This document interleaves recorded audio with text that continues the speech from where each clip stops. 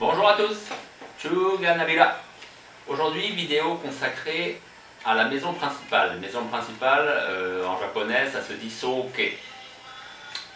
Pourquoi je vous parle de la Soke euh, Parce que, bon, là vous voyez, c'est le Butsudan, justement, c'est ce qu'on trouve généralement là où il y a la maison, euh, à la maison principale, dans une organisation clanique.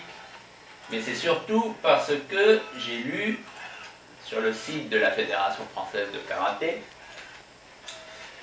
euh, pour un petit reportage qui parle de la venue des frères Uechi pour un stage euh, de toute première importance et très bien organisé au passage. Donc Kancho, donc euh, c'est Sadanao. Moi, quand je l'ai interviewé, je le présente sous le nom de Sadanao parce que c'est sous ce nom en fait qu'on le connaît. Kancho, lui-même le dit, c'est réservé au milieu du karaté. Bref, c'était un stage euh, en plus de son école, bien entendu, il se fait appeler Kancho. Bref. Kancho, l'aîné, tient désormais le rôle de Soke. Alors, Soke. Euh, déjà, c'est pas Soke, c'est Sooke. Et euh, Soke, donc, qu'est-ce qu'ils disent? Pardon, c'est ça, oui, Soke, entre parenthèses, grand maître. Voilà. Donc, Soke, selon la fédération, ou la personne en tout cas de la fédération française, qui a écrit euh, ce petit billet, c'est le grand maître. Mais pas du tout. Parce que déjà, le terme Soke, c'est un mot extrêmement commun en japonais. Je vais vous l'écrire. Alors, Soke.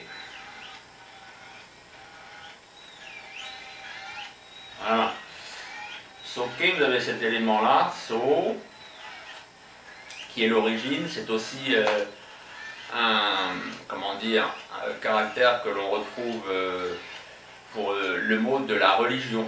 Quand on parle de religion en japonais, c'est Shukyo. Et donc là, c'est la maison. Donc Soke, littéralement, la maison des origines, la maison des ancêtres.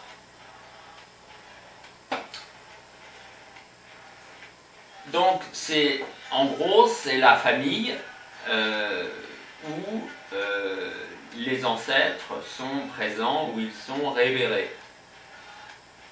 Lors dans une organisation clanique, euh, comme il y a beaucoup à Okinawa, c'est la maison principale qui se dit aussi Honke. Que vous disiez Honke ou Sooke, ce sont des synonymes en fait. Donc, avant d'être une personne, puisque dans les arts martiaux, on entend beaucoup ce mot de Sooke concernant une personne qui a, pas des grands pouvoirs, mais euh, qui, a, reçu l'enseignement, qui est garante de la tradition, on va dire, voilà. On parle donc de Sooke pour une personne. Mais avant d'être une personne, c'est une entité euh, comme une structure, en fait, où, à travers les personnes, qui se succèdent de génération en génération, quelque chose se transmet, quelque chose est conservé. Donc, contrairement à la Fédération française euh, qui nous parle euh, de grands maîtres, euh, peut-être c'est sous l'influence anglo-saxonne de Grandmaster, je sais pas. En tout cas, en français, en plus, grand maître, ça fait un peu bizarre, hein, cette expression. ça fait limite caricatural. C'est comme euh, quand on parle des Asiatiques qui disent tout le temps honorable, honorable client, honorable quelque chose. C'est un mot euh, qui passe pas en tout cas en français contemporain. Donc, soke, moi, quand on parle donc d'une personne, puisque c'est un ensemble, c'est une entité, une structure, et bien sûr, comme souvent en langue japonaise, ça désigne aussi la personne qui est dans cette structure, la personne qui fait cette action. Donc la personne de Sooke, c'est tout simplement le légataire, celui qui a reçu euh, l'école, quand on parle des arts martiaux. C'est celui, souvent c'est son père, c'est encore plus le cas dans le cas de Nozuechi, euh, puisque l'école Uechi Ryu, en effet, est quasiment l'une des seules écoles vraiment familiales euh, à Okinawa qui se transmet de père en fils.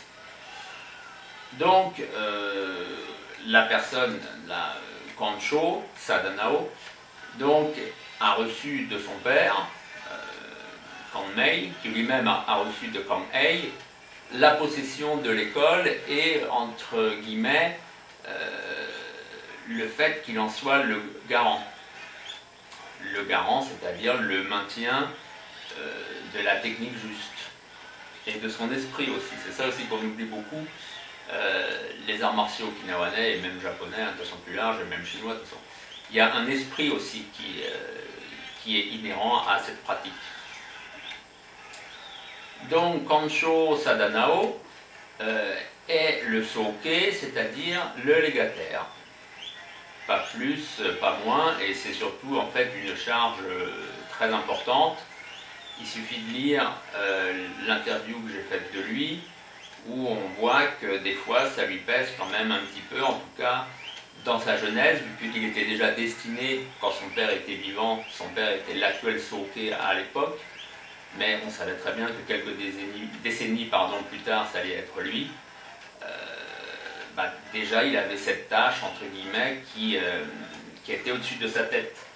Après, on voit aussi, oui, c'est quoi le mot c'est que le rôle, non, c'est pas un rôle, c'est un titre.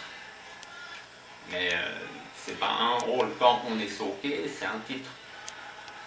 Euh, voilà, donc tout ça pour dire, c'est pas pour casser du sucre sur la fédération. Elle fait ce qu'elle peut, euh, dans la limite de ses moyens, mais quand on commence à vouloir un peu employer des termes japonais et surtout à manier des concepts, de la culture japonaise, euh, il faut savoir en gros ce qu'on fait, sinon on écrit n'importe quoi. Et c'est comme ça que euh, au bout de 3-4 ans, euh, voire 10 ans, on a vraiment des inepties qui circulent entre les pratiquants parce qu'à l'origine, il y a une source réputée sûre. Après tout, qu'est-ce qui peut être plus, plus respectable que la fédération quand on appartient à la fédération de karaté? Euh, qui a écrit, c'est même pas qui dit, c'est même pas qu'on a entendu dans un vestiaire ou sur un tapis, euh, quand on a lu donc euh, des choses comme ça. Alors je viens de vous dire donc que tout est à reprendre. voilà, je pense qu'on a un peu fait le tour de cette notion donc de soke dans les arts martiaux. On va finir en disant que justement, si vous voulez en apprendre plus là on n'est pas dans les arts martiaux, on est dans la culture okinawanaise, mais la culture okinawanaise a modelé euh, le karaté et les kobudo.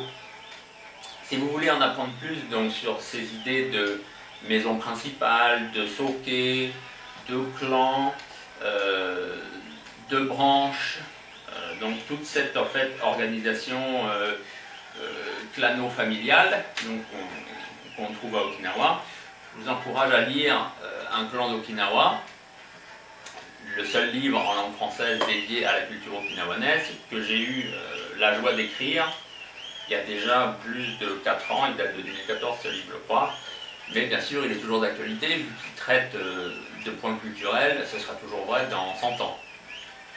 Voilà. Et pour finir, euh, donc livre vendu sur Amazon, hein, voilà, commandez-le sur Amazon. Vous pouvez aussi me contacter pour un exemplaire dédicacé on en vient au mot du jour. Mot du jour, et eh bien justement, je vous ai dit que soke c'était du japonais.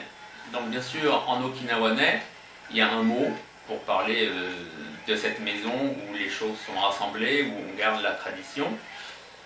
Et eh ben c'est mutuya. Mutuya, certains ont peut-être même déjà compris comment est-ce que, je trouve plus mon éponge, comment est-ce que ça s'écrit Mutu, ça vous fait sans doute penser à moto. Donc si vous connaissez moto, eh ben, euh, c'est l'origine. Et ya, c'est la maison.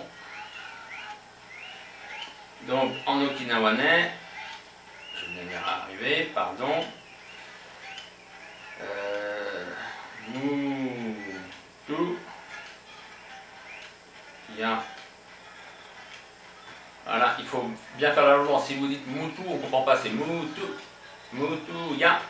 Voilà, pour euh, l'assaut A très bientôt